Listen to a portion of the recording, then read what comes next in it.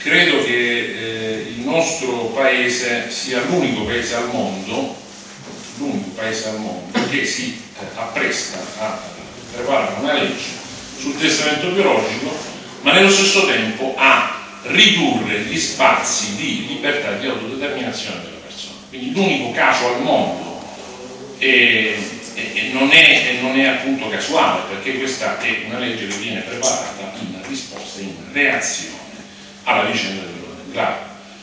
E chiaramente eh, è una legge fortemente ideologica e, e spiegherò subito il perché. Chiedo scusa. Ehm, quindi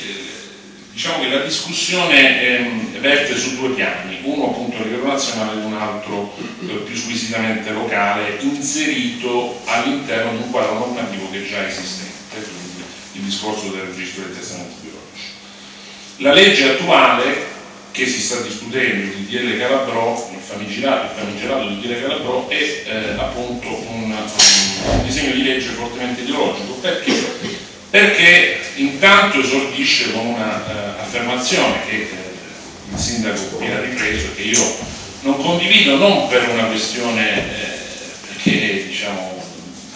da parte mia pure io sono eh, su un altro versante sono appunto voglio sostenere un altro tipo di ideale. Eh, ma perché eh, di fatto noi non possiamo dire che la vita eh, sia un bene disponibile non lo possiamo dire perché come recita un bellissimo spot che noi abbiamo come associazione Coscioni diffuso in tutta la Puglia eh, nel quale si vede un malato terminale che dice la vita è questione di scelta io ho scelto la moglie da sposare ho scelto eh, di fare l'università ho scelto eh, quale macchina comprare capelli, il taglio di capelli però non posso scegliere sul, eh, su tutto ciò che ha a che fare con eh, la fine della mia vita. E, ehm, e quindi eh, questo DDL Calabro che si apre con questa affermazione che è puramente ideologica perché ripeto non è poi di fatto sostenibile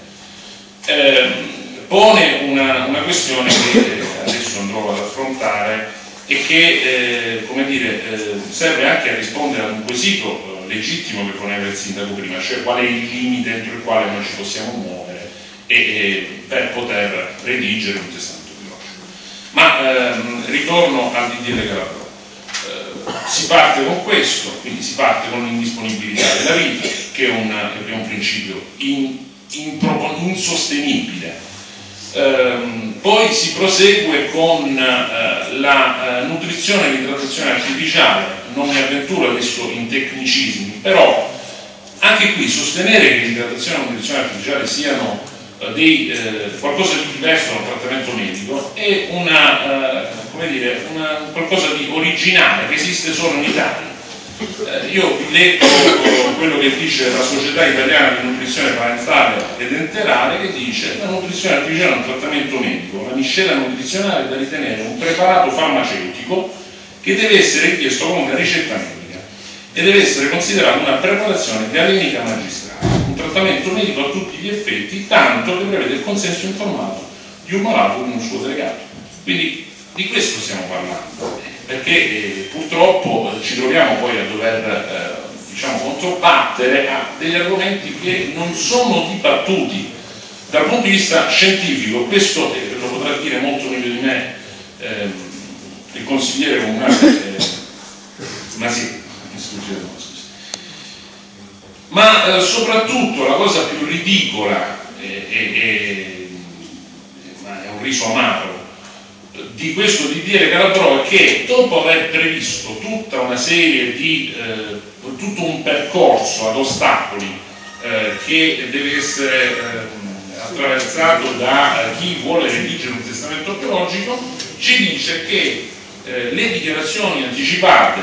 di trattamento non sono vincolanti per il medico, cioè come dire abbiamo scherzato,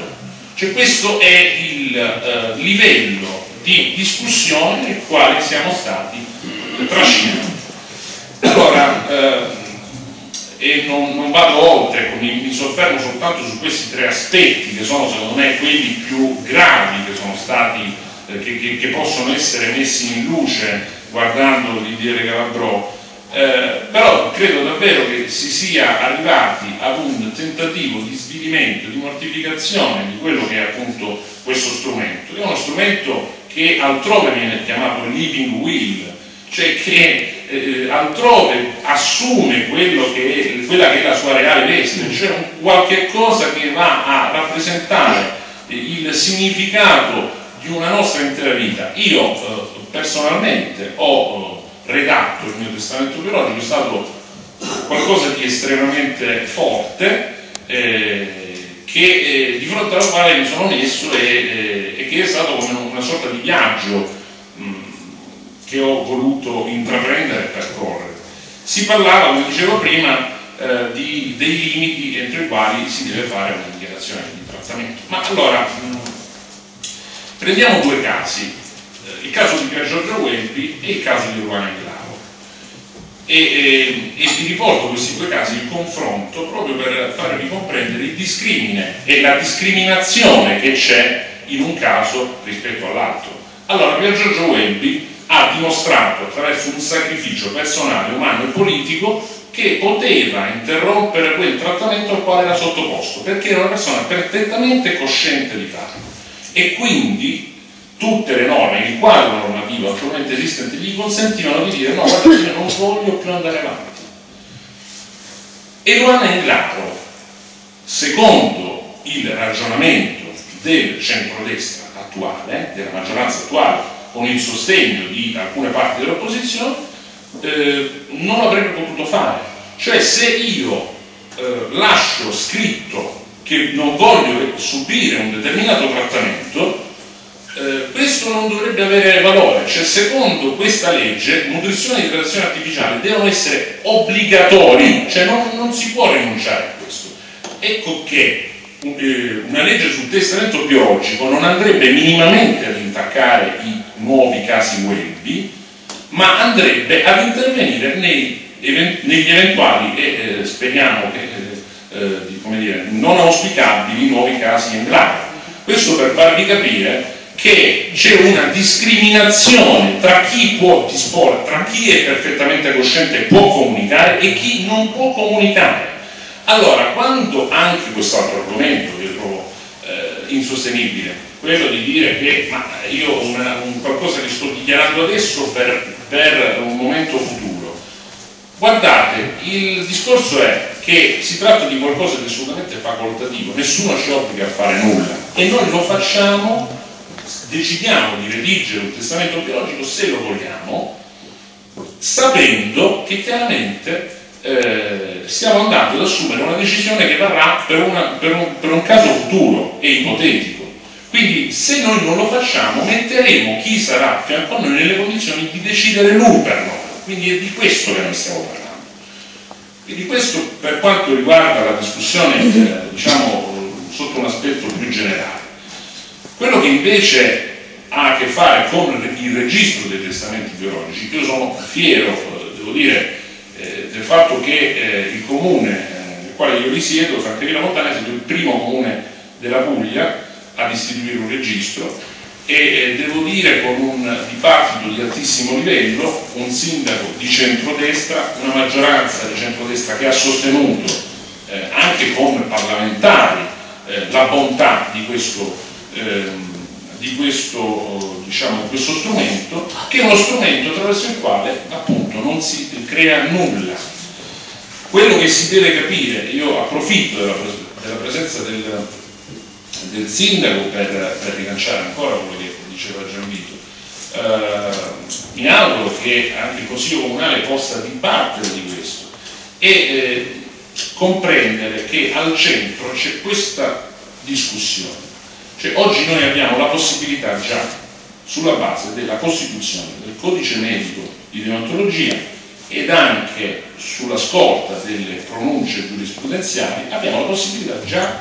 di rilasciare delle dichiarazioni di trattamento. Quindi se andiamo in un comune nel quale c'è un registro di testamenti biologici, il funzionario del comune eh, andrà a certificare la provenienza e la data certa di quella dichiarazione. Questo farà. Questo nei comuni in cui non c'è un registro si può già fare, si può fare con un notaio. Quindi eh, mi auguro, dicevo, che si possa avere anche a San Vito una discussione su questo punto, comprendendo che al centro c'è questo aspetto. Anche qui il rischio di una discriminazione che chi può andare da un notaio può già fare questo tipo di intervento e chi invece non, non può permettersi di andare da un notaio non potrà eh, lasciare delle direttive anticipate. Quindi ehm, io concludo il mio intervento auspicando eh, che eh, per l'appunto anche, eh, anche, qui vi possa essere questo, um, questo, questo dibattito, questa discussione